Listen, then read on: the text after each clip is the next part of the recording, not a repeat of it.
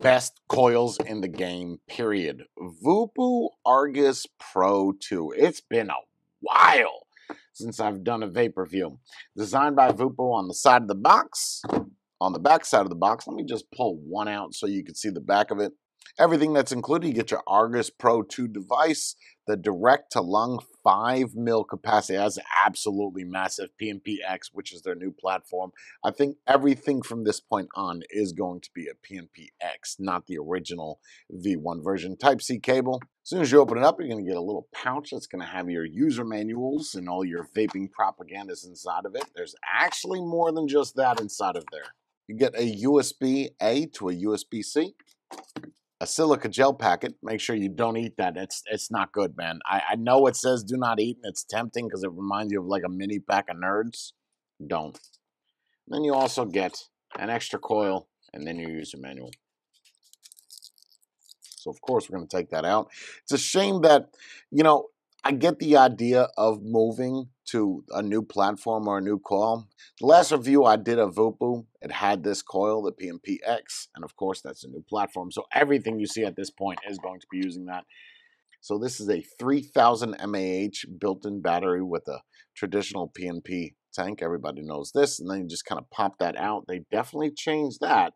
So the one that comes installed is a 0.15 and then the extra is a 0.3 the airflow bore on a 0.15 versus the 3 is about double. I mean, it's absolutely massive. We're going to go with the 0.3 just because I prefer a little bit of a higher resistance. I know some people like 0.10, 0.15. And your pod is simple, kind of just lines up. It just slides in like so. On the original PNP tank, I used that so much that the bottom of it actually rusted. This is plastic, so that's a good thing. And you got your four magnets, airflow adjustment on the top. To fill the tank, we pull this little rubber gasket. I'm going to use three milligrams on the inside here. Um, that's actually... Mm, make sure you let that sit for about five minutes prior to using it too. I absolutely love the fades that they got going on. This blue to silver. I don't know how well that camera's picking it up. And on the backside, some more shades of blue.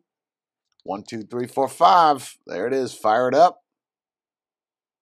We've seen this screen for a long. I'm getting juice everywhere. So on the front, you have your lock button, unlock. and you can adjust this up to 80 watts. And it does not round robin.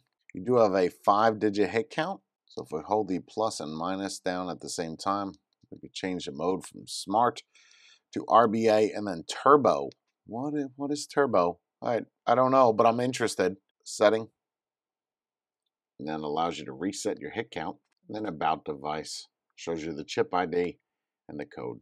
Simple enough, very easy. What's nice is on the bottom of this, they made that soft so it's a little bit grippy so it doesn't fall over. On the front face on the bottom is going to be your USB port to charge it. Once again, that is a Voopoo Argus Pro 2. Let's bring it back on top. It's going to be a little dark. All right, I totally forgot to bring a back on the top, but you know what? This is a good thing. So this is the Argus Pro 2. So now usually when I do these reviews, people wonder whether or not I actually use the products. I literally, I totally forgot to do this. I was editing the video and I was like, wow, there was no back on top section. Yep. So here I am back on the top. And you'll notice that there's actually a hit count on this. You see that? 193 hits. So I don't want to hear shit. Jai, you don't use nothing. You know, if there's ever a problem with a product, I would always do a backup video and say, hey, man, you know, this was jacked up, or this was wrong, or this was, this didn't work, or the coil sucked. So I didn't have that problem. And that's with all the products, by the way. So across the board, I really like this. It's a built-in battery. People prefer 18650s, as did I, but having something that has a built-in battery when you're out and about is just much easier, especially considering that I would recommend you to charge them with USB-C because you don't have another option versus charging a mod that has an 18650 or a 21700 and then using USB-C. I know they're essentially the same thing. It's just I prefer one over the other. I prefer 18650s across the board, but if you have something that's just going to toss around and put inside of your cup holder in your car on your way to work, or I don't know, you're going to go skiing or snowboarding, anywhere other than where your house is, I see the use of this. When you have tanks that are plastic like this, no matter what you do, you cannot destroy them. So that's a good thing aside from just using the old traditional glass. I really like mods that essentially you could just throw around and not have to worry about it. And this checks those boxes. So I would 100% recommend this. If I had to rate this device on a 0 to 10, does that even I, the question is, is whether or not people even care about a rating anymore. If I recommend it, yes. If I don't, whatever. Because so many people stole my style. They started rating products. Go back six years ago, see if they rated products. Go back to my video six years ago, see if I rated products. People didn't like to do that. Now they all do it. Whatever. I've kept it real. Have you? Jai's out.